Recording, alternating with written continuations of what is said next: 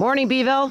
This is Cindy Clark from PACB TV, and I'm here this morning with Dave Smart in front of the Pagoda mural out on East Dead Creek Road, which I'm sure many of you have heard about or seen in the messenger. But we're here with Dave to get the history of this whole beautiful mural, how he got started, and you know why he did this, and the history of the surrounding area. That's all a part of all of this. So, Dave, thanks very much. I appreciate you joining us here today. All right, why don't we just start out right at the beginning? Where did you? How did you get involved in doing any kind of art like this? And then we'll bring us on up to where we are today. Well, that's that's that's definitely an interesting story. I was I was always uh, inclined towards art, you know, as a kid and everything. My mom's very artistic. She she has a photography degree and she's kind of very worldly. She's been around the world and everything like that. And she always kind of tried to promote me towards drawing and stuff like that when I was younger. But you know, my academic proclivities and everything like that, and where I wanted to go with it, I, I kind of went more towards the scientific route. And uh, because uh, my, my dad's an accountant, my mom's artistic, and so I kind of got the best of both worlds with, with both of them. And that kind of guided me in how I'm able to do this now. It wasn't originally what I ever thought I was ever going to do is paint large stuff on the sides of people's buildings and get paid for it, which is awesome. but uh, it was... Uh, you know, it's definitely a journey coming into this. And I've only been doing uh, large scale murals for like five years now. Um, you know, I, I, did my first one in a church uh, right in B'Ville, and uh, it was after uh, I was rehabbing from a, a coma, and I, I went from going to school in the military to being a doctor to becoming an artist. And, and it was kind of like. Well, that's quite the journey. I guess it yeah. is. Like a, a kind of a roundabout. Yeah. So that was part of your recovery then, I, or your rehab is your art. Yeah, it definitely was. It was definitely where where I realized, you know, I I had an I always knew I had some sort of ability, but I never really touched it. And I thought, oh, you know, I love doing art and everything, but that'll never really amount to anything. I got to do this. I got, you know, I was I was like a scientific atheist, and I was just everything science and you know, I went to RIT for biotech and genetic engineering and stuff, and then I turned into pre-med, pre-vet. It was a little bit of everything. I was going to go to be school to be a veterinarian. It was one of those things, but I never really knew until like I, you know, I started picking up a brush and like painting on my own. I was like, this feels right, you know. well, and then fast forward, here you are to doing this magnificent mural. So how did this come about? How did I mean? I I, I give you a lot of credit for you did like a 180, a complete 180 on your career path. Oh yeah. And this is amazing. Yeah. So now, how did we get here? Can you give us some history of this whole scenario here? Yeah, I mean, like the the East Dead Creek, this this mural has been a part of well, it's definitely been here my entire life. it's been here my dad's entire life, my grandfather's entire life. You know, it was uh, painted originally around 1859, um, and uh, the original owner was a uh, merchant marine in China. Um, okay. and actually specifically Shanghai, and it was like a classic love story. Westerner goes goes east, falls in love with a girl. Um, they have a baby, but she's part of a family where they had to hide hide the fact that she was pregnant or that they had a relationship or they were in love or anything like that. And you know, finally, you can't hide that for so long. Mm-hmm. And uh, when the family found out about it, uh, the, the the father had to take the daughter. They were kind of excommunicated out of the, the community in uh, Shanghai. Um, it was actually near the Longhua Pagoda. That's what this is and this, this, has been here, been there for thousands of years. Um, it's a Tibetan uh, Buddhist uh, monastery almost, and that's what the grounds were. But it was her hometown, it was her home village. So the father had to kind of like flee by the darkness of night, and it's not like they just hopped a plane and ended up here. Right, right. it was like a you know three month journey, whatever it was to get get here. Uh, you know, they came through New York City, and and the actually the, the the funny story about this is is like the history of now and then kind of coming together and merging. Because uh, when he came to B'Ville, he came on the Erie Canal. And the way station was the B'Ville Diner. And, well, the owners run the B'Ville Diner. So we're going full, cir- yeah, full going, circle here. full circle. And uh, they, actually, my dad's uh, office, who's been that's been in Baldwinsville for he's been in business for 52 years now. Uh, he's had his uh, business on Downer Street, mm-hmm. which is the the street I know, I know where it is. Yeah, yeah. Um, for uh, since almost I was born, 1980. So we got 42 years right there. Um, that specific house was here. um, I think that house was built in 1844. So all the factors of my family were, were involved here. And I mean, all of B'Ville's roots were here. Um, so when when they came, they came here. They brought, you know, he brought a little Shanghai with him. and uh, when he went past my dad's office, uh, it, which is my dad's office now, was a tobacco farm then.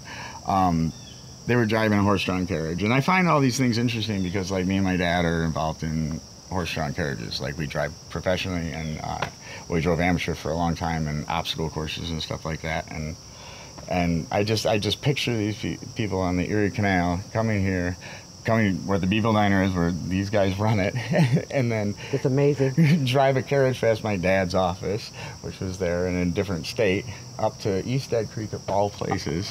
How do you get here? I mean, why? Yeah. I mean, really? People talk about moving from Florida to. Why would you move from Florida to Syracuse of all places? well, why would you move from Shanghai to Syracuse? Um, Well, they kind of had to. Yeah, Yeah, they- they, kind of had to get they really out. So, yeah, and uh, so what happened was, so the little girl really, her name was Nin, and uh, now didn't they live across the street at one point? Okay. Yeah, that right, All right. there is the original farmhouse, and that's the perspective was from those steps where that little girl used to sit and cry and miss her homeland all the time, and she used to miss her mom and everything. And the father was like a, a archetypal love story about a father's love for his little daughter. Like, what can I do to get her to stop crying? You know. Some people drive them, drive their kids around in cars to get them Yeah, stop crying. right. He has a huge mural painting. Um, he actually hired somebody to paint this from New York City.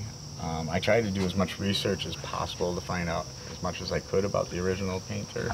Um, there's not that much history of it back then. Hey, it's actually still wet, but um, he, he had this painted so that his daughter, who was in a totally foreign land, could have something to remind her of home. And, it, and, it, and it, it's a it's a, just a, a beautiful mural back then. When I got it, there wasn't that much left to it.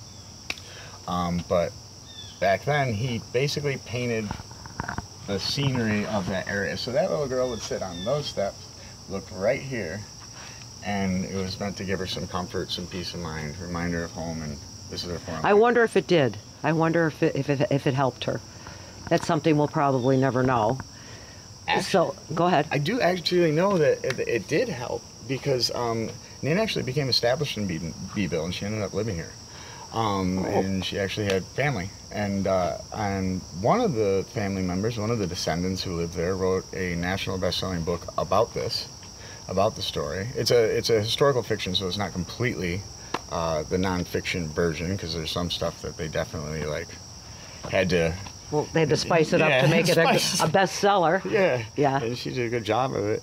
And uh, she wrote that book, and it was a national bestseller. But so her her legacy lived on in B'Ville for a while, and uh, so it did. It, it must have helped because, like, I think we were talking earlier, and when I used to, my dad was in B'Ville. I, he had a horse farm there. It was legal because he paid taxes in B'Ville. But, so I used to drive drive from Jordan to go to school to B'Ville, and I used to pass this every day, and I used to just look. At, I never knew the story. I never did either. Nothing, I never knew anything about this. I just thought, what in the heck is this thing doing? What does it out- mean? Yeah, what is it I know. What does it all mean? Baldwinsville. I mean, a pagoda in B'Ville. Yeah. You know, that is so bizarre, but I'm, I, now it's nice. Now, when you talk about how it came to be, of course, it makes much more sense. Yeah, and there's there's a lot there's a lot of history with it. There's a there's a lot of cool history um, that I, I got to learn a lot with people that lived on this road for ages, like Ray Rice up the street. And there's people. There's one person that kind of moved here because the pagoda was on the street, and they grew up. It, it actually has kind of like this weird little international cult following, because when I looked it up for the first time, the Shanghai pagoda, the mural from B'Ville showed up. I'll have to check that out. and I, I was like, okay, maybe it's a location and everything like that, but it's probably one of the only country road Longhua pagodas around. I would, I would. I, I gotta. I can't disagree with that one. I, I, I think you're probably right on that. So, how did you get involved in doing this then? All right. So here it is. You you've seen it. You know, you've admired it and wondered why. And how did you how did you get here to be here today with this? Well, you know, at, at first I felt completely unqualified. um, I got called by um, uh, Jim Orlando um, to bid on this. And he's like, "Do you know about that?" And I was like, "Wow, that one." You know, I had been painting murals. Um, I originally started a business like five years ago, um, especially after knee injury too. Um, I started a business where I wanted to paint because that's how I kind of rehabilitated from my coma and uh, you know various injuries and stuff that I've had in my life. And I was like, I just want to paint and make you know and paint art and do art for the rest of my life because this is what I was supposed to do. I just knew it. And uh, everybody's like, Dave, uh, you can't medically drive. Uh, you can't get to places. Uh, most people don't really think of making money in art in Syracuse, New York. They go to New York City or something like that. But I was like, oh, I'm gonna try it here. So I uh, basically I got a bunch of business cards, and it was just all it was. I never practiced this stuff. I never learned this stuff. I just knew I could do it, and I wanted. You know what? You had no training or anything, or It's just. It's just been something that lay, latent for years. Sure, I had some artistic ability in, in high school, but I didn't really look at it. You know, I was tracing comic books and stuff, and I never went anywhere with it. I didn't really have much confidence as a kid, so I couldn't do art because I was always worried about people watching me do it. Like it was, I had a severe anxiety disorder, so it was like it, it just wouldn't be me. But neither was being a doctor because I had to be in front of people too. Either. So I kind of had to have a lot of things happen in life to bring me to where I am to even be comfortable talking about it in front of a camera or anything else.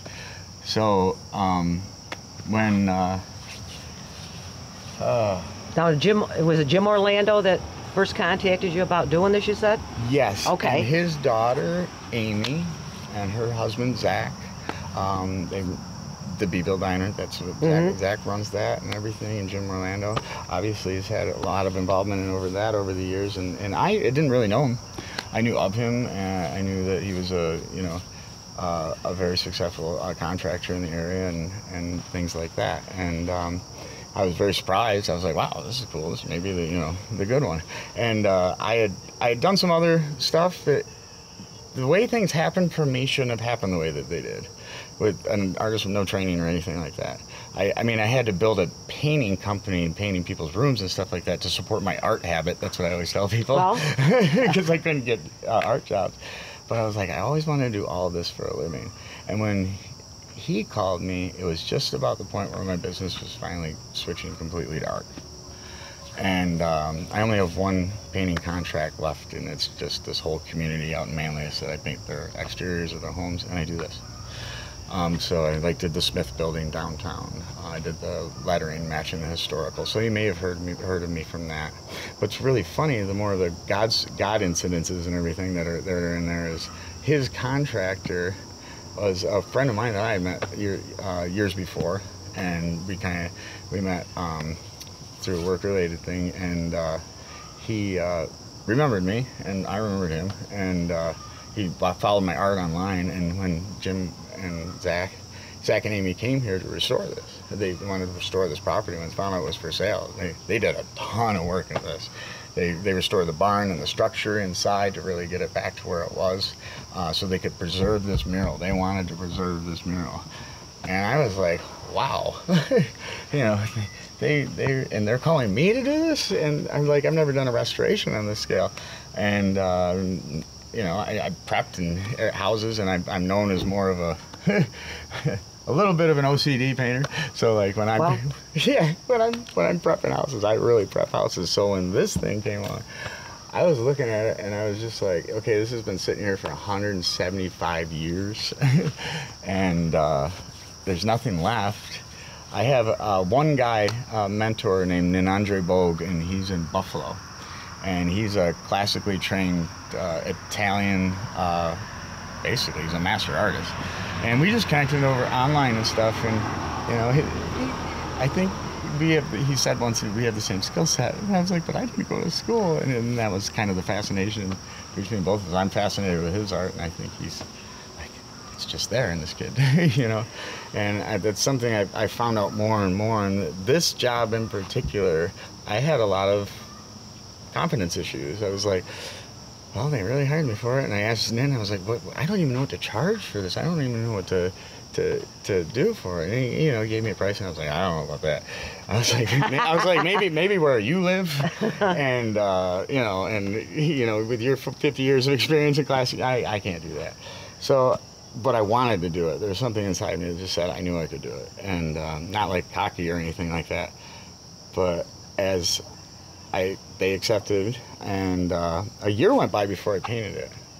Um, and I think they were they were getting stuff ready in the barn, fixing the back of it, preparing it for you know to stay up after I built it or painted it. So I had a little bit of lag time. I had other art projects going on. I really learned how to really burn yourself out by doing three art projects at the same Oh. time.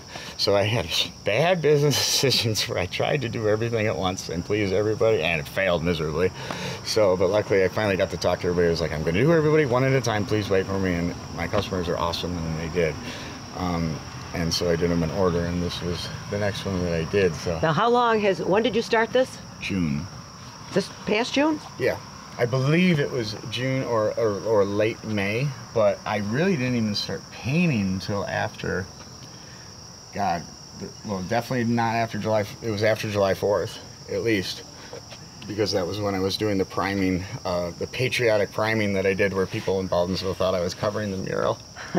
They probably were getting all nervous. Oh, they were. Yeah. I- I- this mural is Yeah. a very loved, loved thing. So I had like a big thing ahead of me, and uh, I just did a lot of research on it. Now, was all of this part of the original? You just kind of followed. Could you follow like a an outline, a a faded outline? Yeah. Now that was the cool part. Um, it really, it, it, there are pictures of, of of the state that I got it in, and it was basically, it looked like this with little white wisps of paint. It was just there was nothing there. Oh, okay. It was really Oh. you could kind of see the outline, but there was really nothing left. But when I got when I got closer to this, I realized that in some places where it was still visible, the original artist had I, I can actually show you one right here. There's uh I probably filled it in with paint though. But I saw these archways, I remember that. And they were carved in. So the original artist, what he did, some people do a grid and they paint stuff on with chalk first when they do a large mural for proportions and stuff. Um, he he etched it so he would never lose his outline. Oh, very clever. It, it Or was. it sounds clever. Yeah. Yeah. So this is to a degree exactly the same as that. Now, however, Zach and Amy, um, when they hired me, um, they gave me a lot of artistic license, which I was amazed with. Which when when I hear artistic license, I'm like, oh, freedom, Yeah. you know. And uh, and it's nice because they feel somebody has some trust and confidence in you. And they said, we just want to preserve the pagoda. We, we want this to be the most prominent thing, to preserve the story, to preserve the history of this. And uh, so I, I was really allowed to, what I wanted to do is preserve that story. So I found that there was a water line in the background.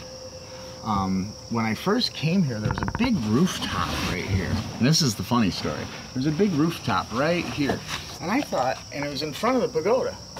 And I thought, why in the heck would an artist put something that uh, like that right in the foreground, like covering up the front? Because you couldn't see the front because it was all faded and gone.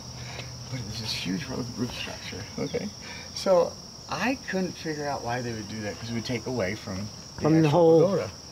So, and then I realized, oh wait a second, I'm not seeing the rest of the house because this is Zach and because they had to for drainage issues and stuff like that build up the skirt. Of- of Okay, the- okay, the makes sense. Make, you know, strengthen the foundation of the barn, keep the rain away from it. So the house would have been down there. However, still, it didn't make sense to me. so I'm looking at the pictures from the 1860s. There's one picture with a whole bunch of horse-drawn carriages, and Nin is actually sitting in one of the carriages, uh, the little girl, and she's she's all dolled up in like the 1800s regalia. But again, you can't see the bottom of this mural. It's just not there because the carriages are in front of it, or so I thought. And I kept looking at it. I was like, oh wow, I do see that outline of of a house right here. But then I looked closer, and there was a guy sitting on a carriage. Well, it looked like he was sitting on a carriage right about here, a horse-drawn carriage. And I looked closer. He's actually behind the carriage right here on a horse that had the exact same outline as the house. So when they were looking at it, they couldn't see that. Oh, they- okay, so okay. they actually painted the outline of a horse when they did the restoration uh-huh. because they didn't know it was there either. Now, I had been ta- talking wrongly to people for a little while because when they, in the 1970s restoration, they had four windows here. They had two on this side, two on this side. There was not a door. And I had looked up the historical Longhua Pagoda, and there was no windows like these. They're almost modern windows. They were curved at the top, and they had, uh, they just, it just looked not right. The the original one in Longhua has octagon-shaped windows like this, weird Okay. little shapes. These aren't actually not windows. Uh, they're shelves where they put like uh, sacrifice flowers, stuff like that. Um, and uh, it just that, that stuff wasn't there. So I was like, I'm gonna put the original door in that was there that she would have remembered. And uh, so I've, I've looked at some of the photographs and either the 1970s restoration or the 19, 1958 restoration, they also, I, I found that I was speaking wrong to people because I thought that the first restoration didn't have that window theme either.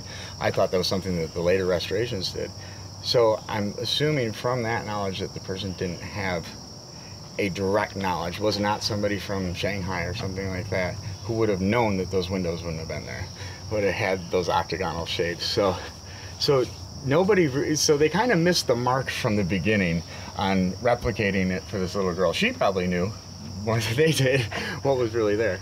So I found that out and I was like, well, no, I'm still gonna go over the doorway because Zach and Amy gave me the license. They're like, do what you think. We try, we, we have confidence in you, which was awesome to, hear and feel as an artist.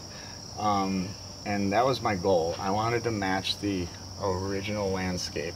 And there is a gatehouse. There was a gatehouse at that time. So I went back to photographs uh, from 1911, and then I found some from 1870s that were close to around the time that when Nin was there. And there's just a lot of open landscape. There's little villages with these houses and huts where the monks live. Um, that that over there is probably where the monastery is. I still have a couple more things that I'm going to add in that people can come and see later.